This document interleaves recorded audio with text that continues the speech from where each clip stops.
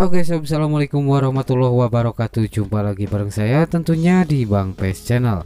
Nah di kesempatan kali ini yang akan saya bahas adalah Cara aktifkan fitur split screen pada Android Xiaomi Redmi 4X Nah seperti yang saat ini saya gunakan Saya memakai Android Xiaomi Redmi 4X dan di sini tentunya kita akan mengaktifkan yang namanya fitur split screen Nah kita tahu untuk fitur split screen ini biasanya banyak yang belum tahu bahwasannya Redmi 4X ini sudah dilengkapi dengan uh, fitur split screen.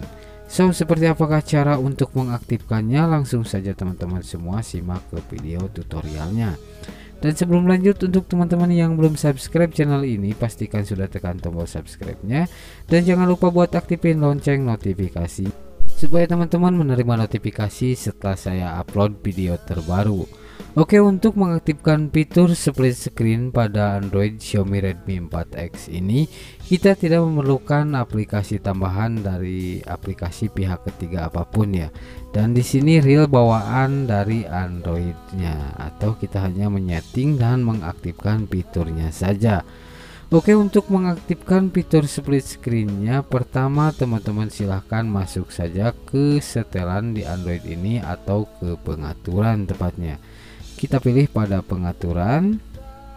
Oke jika sudah kemudian kita scroll ke bagian bawah di menu pengaturan ini. Kita cari setelan tambahan atau yang ini kita pilih setelan tambahan kemudian scroll lagi ke bagian bawah dan kita pilih pada pintasan tombol dan gerakan seperti ini. Nah di sini ada fitur yang namanya buka layar split. Nah teman-teman silahkan klik saja pada buka layar split. Dan di sini teman-teman silahkan pilih tombol apa yang akan teman-teman gunakan untuk mengaktifkan fitur split screennya Nah, di sini saya pakai tombol beranda seperti ini. Kemudian teman-teman pilih pada menu atau ya e, ganti ya seperti ini. Nah, maka otomatis jika kita menekan atau menahan tombol beranda, kita akan langsung dimasukkan ke mode split screen seperti ini.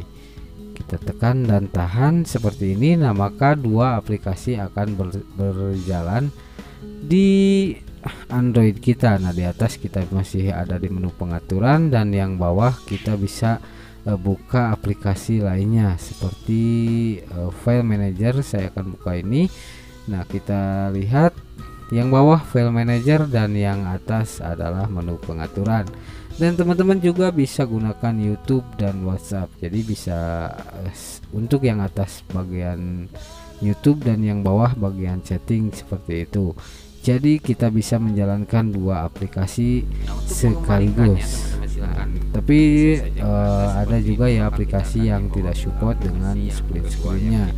Dan untuk aplikasi YouTube, WhatsApp dan Facebook tentunya itu support dengan uh, split screennya. Nah jadi seperti itulah cara untuk split screennya atau mengaktifkan fitur split screen di Android Xiaomi Redmi 4X ini dan jika teman-teman mungkin ingin merubah untuk tombol yang akan teman-teman gunakan mm, untuk mengaktifkan split screen teman-teman silahkan masuk saja ke menu uh, seperti tadi ya yaitu di menu pengaturan atau di menu setelan. Kemudian silahkan teman-teman masuk lagi ke setelan tambahan dan teman-teman silahkan buka lagi untuk menu pintasan tombol dan gerakan seperti tadi ya yang ini kita pilih. Dan teman-teman silahkan pilih lagi untuk buka layar splitnya. Nah teman-teman tinggal pilih saja tombol mana yang akan teman-teman gunakan untuk mengaktifkan fitur split screennya. Bisa tombol beranda ataupun tombol kembali atau tombol back ya.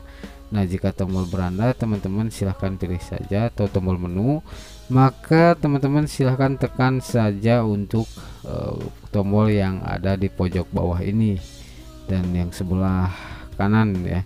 Jadi nanti kita akan dibawa ke split screennya. Oke sekian dulu untuk tutorial hari ini. Semoga bisa bermanfaat. Jangan lupa like comment share dan subscribe. Wassalamualaikum warahmatullahi